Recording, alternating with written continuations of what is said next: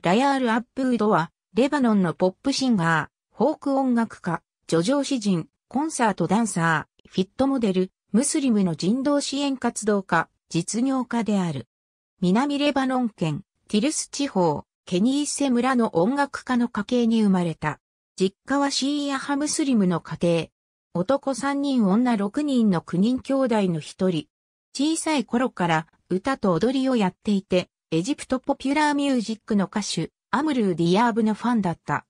英文学をレバノン大学で、翻訳をベールートアラブ大学で、そして音楽表現をアメリカ科学技術大学にて学んだ。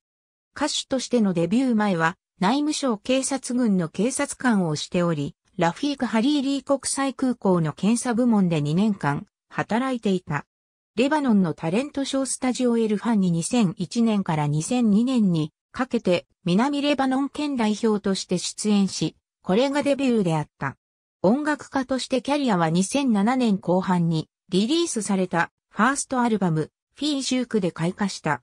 レバノンのフォークミュージックの上演や夏の国内コンサートにおいて異なるアラビア語の方言を用いて歌うことで有名である。レバノン職業芸術家組合のメンバーである。ありがとうございます。